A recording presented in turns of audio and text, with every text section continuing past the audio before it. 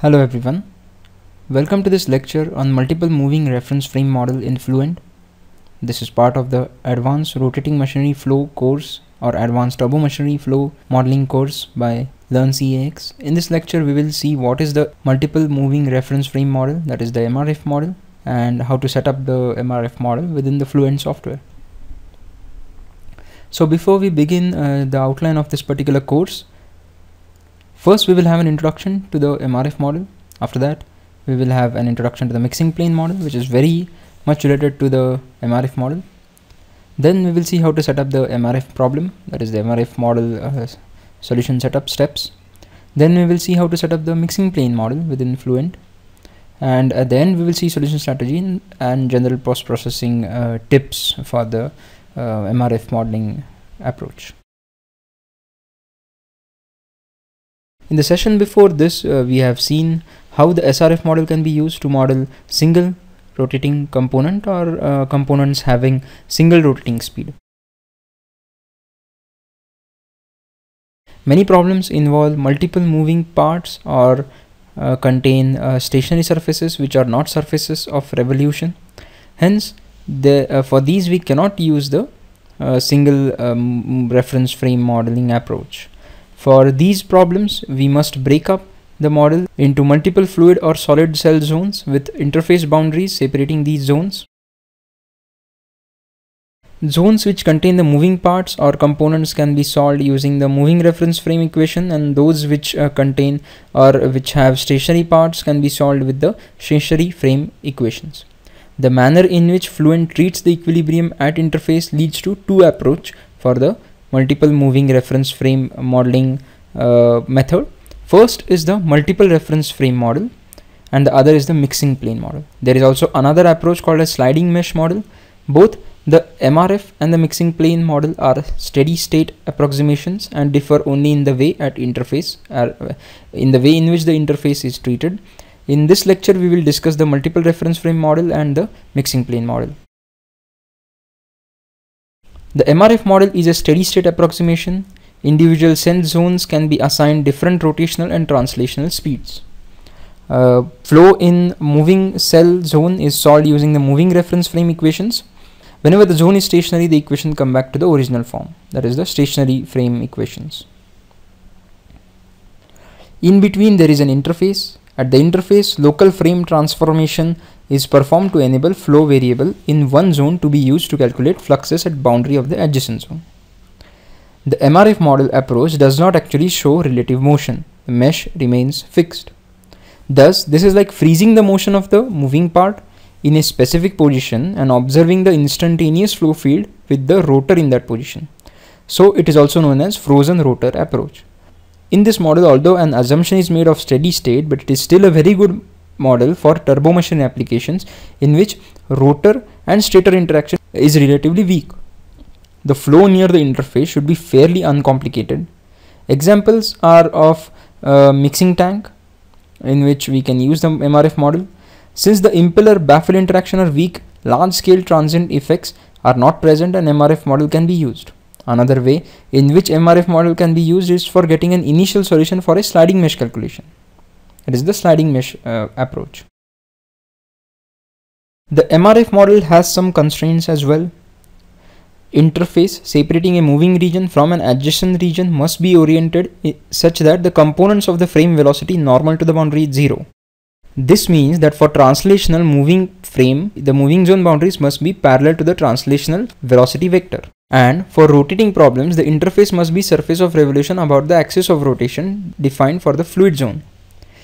In general, try to use the MRF approach mostly for steady state flows. Although Fluent allows to solve unsteady flow with the MRF approach as well, but we need to be careful whether it is meaningful to use it and whether the results make sense. The path lines drawn when using the MRF approach use the relative velocities. For massless particles, the trajectories follow the relative velocities for but for particle with mass, however, this approach or uh, this uh, model does not or, or, these path lines does do not make any sense. Also dpm uh, also coupled dpm calculations are meaningless if relative velocities are considered. So for this we have to use an alternative approach. We have to activate the define models dpm option which is track in absolute frame text command by using uh, by typing track in absolute frame text command. Also, you cannot accurately model axisymmetric swirl in the presence of multiple reference frames using the relative velocity formulation.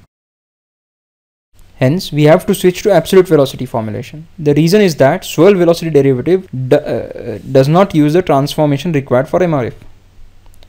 Another limitation is that the translational and rotational velocities are assumed to be constant. Also, you cannot use relative velocity formulation in combination with the mixture model. Mixing plane model is another approach to simulate flow through domains with one or more regions in the relative motion. The biggest limitation of the MRF model is that it is applicable when the flow at the interface between adjacent moving and stationary zone is nearly uniform or mixed out.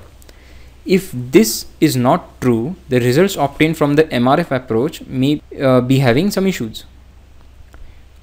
Also, sliding mesh model, although suitable in some cases, it may be too expensive uh, computationally. Example of uh, example is of multi-stage turbo machinery. In such cases, the mixing plane model provides an alternative. In this model, each fluid zone is treated as a steady state problem. Flow field data from adjacent zones are passed as boundary conditions that are spatially averaged out or mixed out at the interface. The mixing or averaging removes any unsteadiness that would arise due to circumferential variations like wakes, shock waves and separation of flow. This gives a fairly good time average flow field, but the mixing plane model also has limitations. The LES turbulence model cannot be used with the mixing plane model. The model for species transport and combustion cannot be used along with the mixing plane model. The VOF multiphase model also cannot be used with the mixing plane model and the DPM model, a coupled approach also cannot be used with this particular mixing plane model. Let us see a pictorial representation of the MRF approach. If we take the problem of mixing tank with a single impeller, you can define a moving reference frame that, uh, that encompasses the impeller and the flow surrounding it. So this is the impeller. These are the baffles. This is the MRF zone which is given by dotted line. If we take this particular problem of mixing tank with a single impeller we can define a moving reference frame that encompasses the impeller and the flow surrounding it. You will use a stationary frame for the flow outside the impeller. That is this particular region the dashed line here indicates the interface between two reference frame and steady state flow conditions are assumed at the interface this means the velocity at the interface must be same for each reference frame. Note that the mesh is non-moving, that is it is fixed, there is no actual movement of mesh. We have done this because we have this particular baffles. If the baffles were not present, a single moving reference frame, that is the SRF approach would be sufficient and we can easily apply that. But because of the baffles, we have to go with the moving multiple uh, multiple reference frame approach. In the second case uh, shown, we have uh, more than one moving reference frame that is this particular there are two impellers uh, this is the first impeller and this is the second impeller the geometry contains two rotating impellers side by side and this problem needs to be modeled using the three reference frames the stationary frame outside the impeller which is this particular region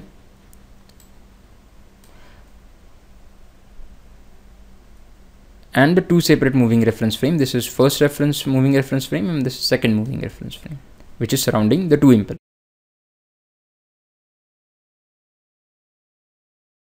Let us now discuss the interface treatment in detail. There are MRF formulations applied to the interface when we use the MRF approach. The MRF formulation that is applied to the interface will depend on the velocity formulation being used.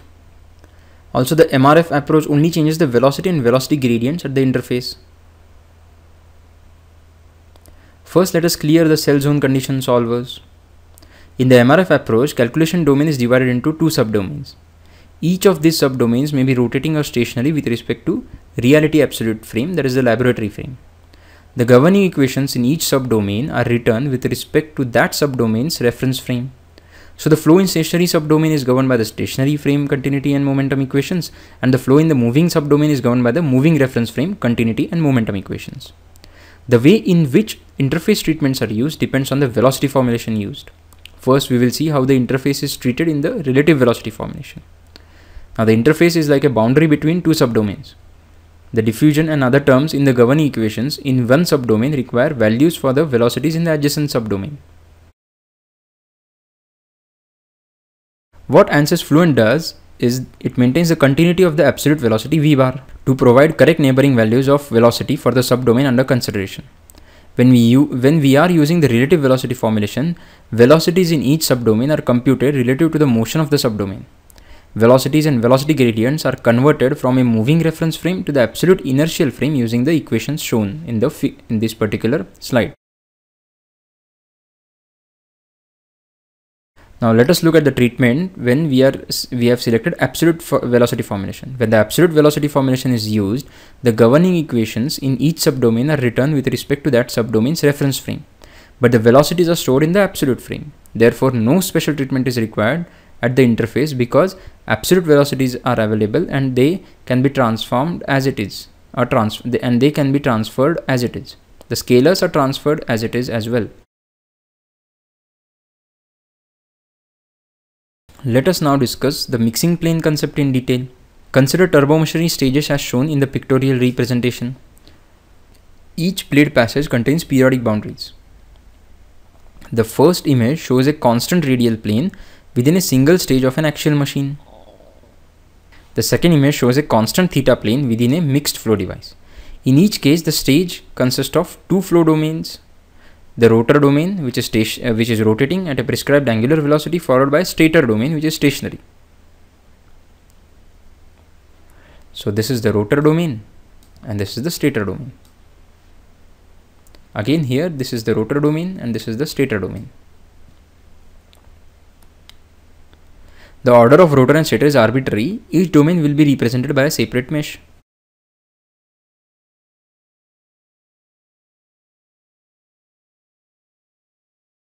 The flow information between these domains will be coupled at the mixing plane interface using the mixing plane model. So this is the mixing plane interface and the flow information at mixing plane is coupled using the mixing plane model.